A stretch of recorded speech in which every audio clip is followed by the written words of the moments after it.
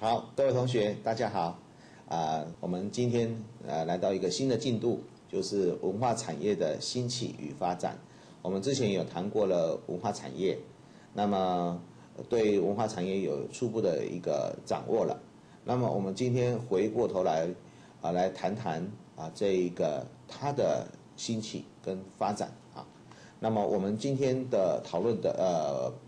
的内容呢，是来自于啊我们。之前用过这一本书《文化全球化》，啊，这个五十七页到九十二页啊，各位如果你有书的话，事先阅读的话，今天我们的这个呃报告呢就会更加你能够更加的体会出来。好，那么首先呢，按照王尼尔的说法，文化的遭遇跟变迁，一般来讲是通过这三个方向来移动的，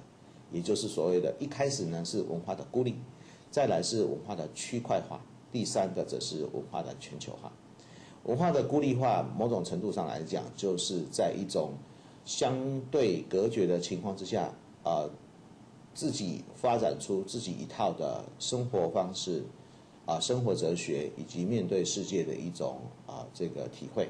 那这种一套的一整套的一种情况，各自在各自在各自的一这一个独孤立的情况下去发展，他们彼此不相干，所以不知道对方在想什么。像我们中国人，啊，我们谈五行，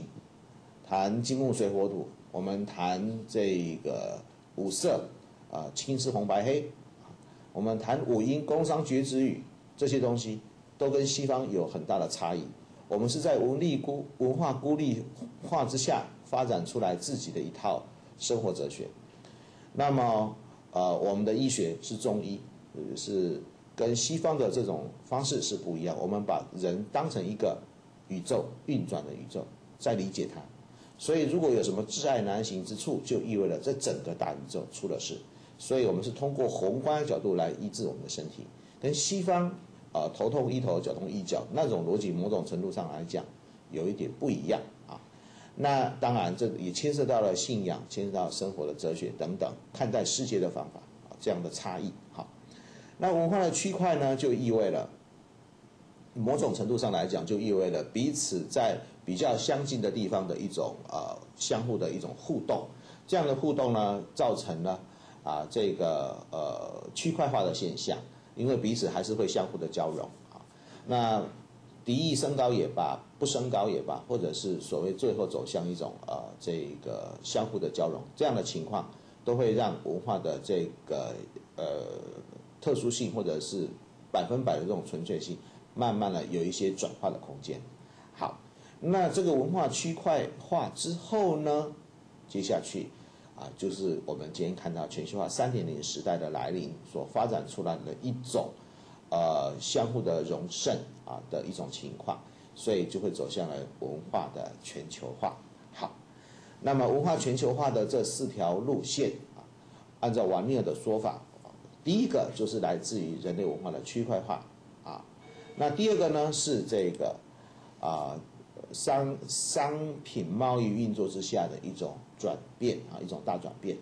那这个大转变是通过运贸易啊资本主义的逻辑去发展出来的，它牵涉到了工呃制作的流程或者是思维的方法啊，第三个呢是交通运输和传播方式的发展。啊，以往并没有飞机，啊，仅仅是陆地的这个车马，啊，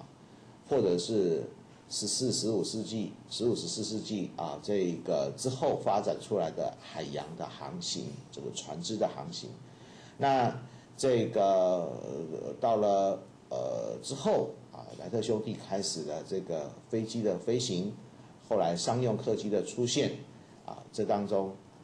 影响就很深远的啊，这个跨洲的移动就可以在很快的时间内来达到，所以事实上这个影响是很大的。当然最重要的就是我们知道的工业化，好，那刚刚我们已经在这个呃之前有提过啊，工业化的发展的确现在慢慢的很多人力的一种啊移动也是跟工业化的发展有很深的关系，它让机器的生产，它让成本的一种预估或者是比较利益之下的一种呃案外啊外包、案外生产等等，都成为了真实。好，好，那我们来看了，当然很快的回顾一下工业的起文化产业的起源里头的这个技术创新的部分呢，我们可以这样子来看，就是按照课本五十八页到五十九页的提法里头，就会看到呢，第一次的工业革命，它是在一八三零年代的时候，呃，逐渐风行起来。那么这个蒸汽、煤炭、铁矿、纺织都是当时的主要的元素。那么第二个第二次的工业革命呢，是在二十世纪初。那某种程度上来讲，它跟电力的发明与应用啊勾连在一起。那么第三次的工业革命也某种程度上来讲，也就是现在了。那么现在的一个部分呢，则是跟啊这个啊我们可以看到了三 C 的产品，某种程度上来讲，数位化的内容慢慢的有更多的结合，所以我们可以说这是一种资讯革命。好，那么今天我们接下来看到的这个投影片呢，啊，这个题目比较有趣，叫做“工业革命与文化产业的结婚”啊，它的一个啊这个手牵手。那它这样的一种一个手牵手呢，某种程度上来讲，它有了很对我们而言有很大的一个呃，在视野上来讲有很大的撞击和开拓啊。那么第一个是印刷术和印刷业。在十九世纪中啊开始发展，一开始的印刷量都不大，所以新闻报业跟报纸对啊全世界来讲，它的影响力一开始是不大的。可是随着印刷机的发达以及整个运输的方便，呃这样的一种纸张或者是所谓的呃新闻报业的一种发展呢，慢慢的成为了一个渗透到。日常生活当中，这给呃这个对统治者而言，或对社会来讲，造成了很深刻的影响啊。第二个呢是电跟电器的产品的运用，以往日出而作，日入而息，到了现在呢，慢慢的，它可以讲颠覆了以往的这样的观念，在晚在白天可以更加延长啊，甚至在这样的情况之下呢，你可以更多的时间。啊，去工作或者是呃轮班啊，像这个这个部分都会跟社会的制度啊勾在一起啊。那么，所以我们就可以知道这样的一种跨州资讯的快速传播，就变得非常的真实啊。好，那么文化产业的起源，这个它有一个很重要的一个推手啊，就是我们刚刚提到的这个电。然后我很快的跟各位同学啊分享一下这个部分呢是。很快的跑出来，从一八三九年摄影术的发明开始，一八九一年电力正式应用到工业上，还有无声电影的播放的出现，无声啊，以及这个一八九九年电报的出现，一九二七年这个有声电影的问世等等，都跟电有关，也跟所谓的这个文化产业慢慢勾在一起啊。好。各位可以看到，所以这个部分到了现在呢，就是电影、汽车、飞机、电报、电话等电器产品的出现，所以工业国家的文化已经开始改头换面，很多的内容都慢慢的整合在一起。好，那所以三次工业革命带来的一个巨变里头，我们可以这样子说啊，它非常多的内容都。可以讲彻彻底底改变了文化工业传播和资讯的相关的外貌。你比如说电视、电脑、电缆、卫星传输、网际网络等等，都是啊。我们可以通过这些方式，让我们的生活更加多彩多姿。当然，有一些这个学者，他也思考到这样的资讯泛滥，对于乐听人而言，到底是好事还是不好？啊这当中有的时候会发现到有一些事情，它可以很快的被渲染扩大，形成一种心里头的一种压力，啊，我想这个情形在这个相关的研究当中都有提到。好，那么我们接下去要跟同学呃报告的就是关于大众必须的工业呃大众工业的必需品里头有三个部门，一般来讲，它的这种所谓的文化属性的一种浓厚程度啊，特别是明显的。第一个呢是交通，第二个是服饰和居家记忆，以及第三个农业产品。为什么我们会这样说呢？我们来通过下边的相关的来跟各位做说明，你就可以看得出来。好，这里头呢有一些照片，你可以看得出来，就是所谓的啊这个呃各种不同的移动的这种车辆啊，这里头有脚踏车，有人力车，有这个以前的轿子，或者是现在我们可以看得到的啊这个叫做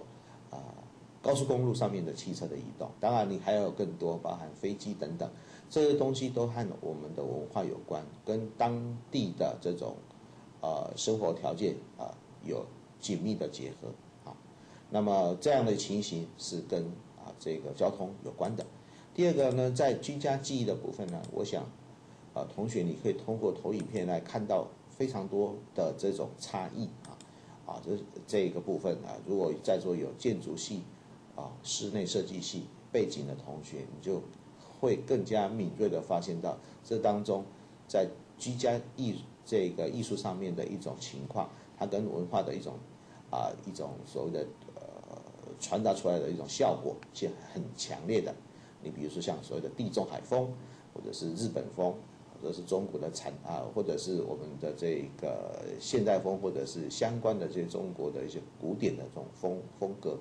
都。可以在居家的艺术当中看到他们的一些身影，啊，那么在食品的部分也一样，它也是一样跟啊当地的环境食材啊这个有关啊，包含甚至他们的生活的一种啊哲学有关，所以你可以看到非常多不同的产品呈现在我们的面前，这些都是啊一个代表啊，就是跟文化相勾连的一种代表。好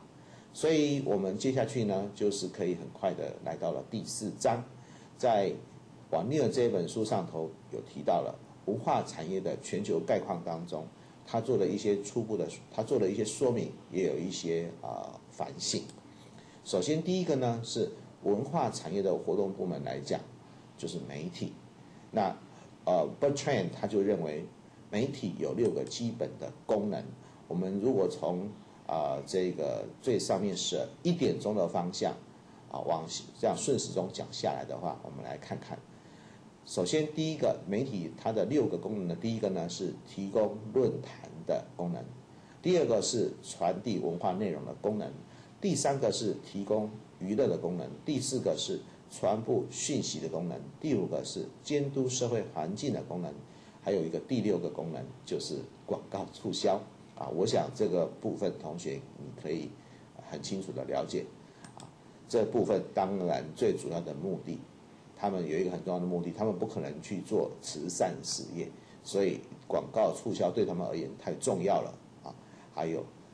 这个我们可以了解啊，这个除了这个广告之外，当然定定报量的高与低也会跟这个呃媒体有密切的关系。好另外一方面呢，不过瓦丁尔他有提到了，说报业啦、电台啦、电视啦、图书和电影等等这些东西，在全球的规模上，其实受到了语言以及文化的限制，因为它所表达的东西，某种程度来讲，通过语言，语言是文化的载体，所以语言一出来，某种程度上来讲，就意味了，嗯，它代表了它的这样的一种文化的背景，啊。通过镜头或者是通过文字去表现，好，所以它的确会受到啊这个若干的限制啊。那么另外一个方方式呢，就是另外一个方面来讲，在八零一九八零年代以前，啊家庭啦、学校啦、寺庙啦、教堂、报纸、俱乐部、政党等等，它都扮演着筛选、分级、评估、传递资讯的角色。那么，呃，文化的内容则是由媒体去传播，所以他们就是指导者或者是指引者。那这样的一个情况之下呢，我们有了，有慢慢去回想一下，的确，在当时的情形也约略是如此。不过现在呢，情况很大的差别了。数位科技或者是科技的数位化，让每个人通过了多重管道，面对了众多文化内容的涌现，哇，这个实在是非常非常的丰富，这个排山倒海而来，实在是太厉害太厉害了。你可以讲，如果你愿意的话，你可以在 YouTube 上面呢，呃，在上面悠游啊，一整天都不会累啊，有很多很好笑的啊，这个短片啊，你对你而已，这个对你而言绝对是非常的新奇，但事实上沉淀下来想一想，我们通过了这些呃短片，我们得到了什么东西，整理出什么样的一种啊所谓的心得，这个事实上可以再另外再去思考啊，还有。各位，我们也可以去思考思考，谁有那样的能力去上传？虽然我们说他今天是非常的啊，可以讲是很普遍的，可是我们都很清楚的知道，需要这样的设备，某种程度上来讲，一些落后国家是做不到的。所以这种文化的一种串流跟表现，某种程度上来讲，它有一种不有一种倾斜的情况发生。等一下我会再跟各位来做报告。所以我们可以这样来讲。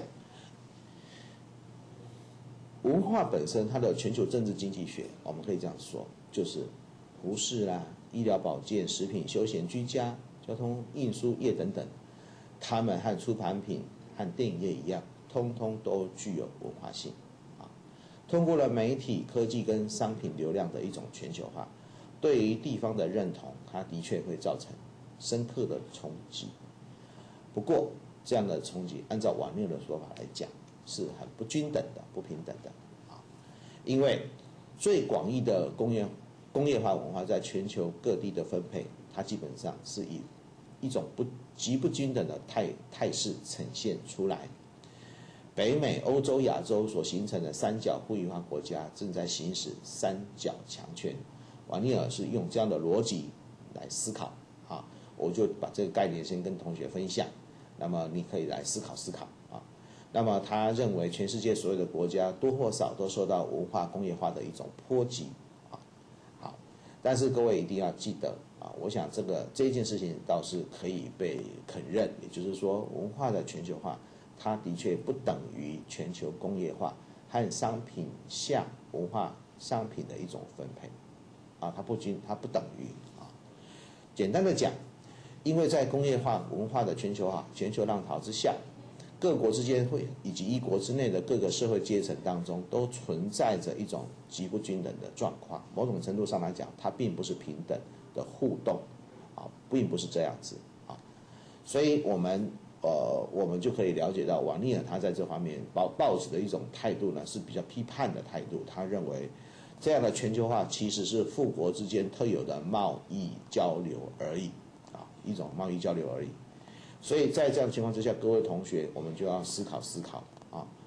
我们在台湾，我们台湾的文化产业在文化全球化当中，它是基于怎么样的一个位置？如果按照 Wallerstein 他的世界体系的逻辑，那么我们是在边陲，还是半边陲，还是在核心？也就是所谓的支配、半支配还是边陲？我们得自己思考思考。这个是一个。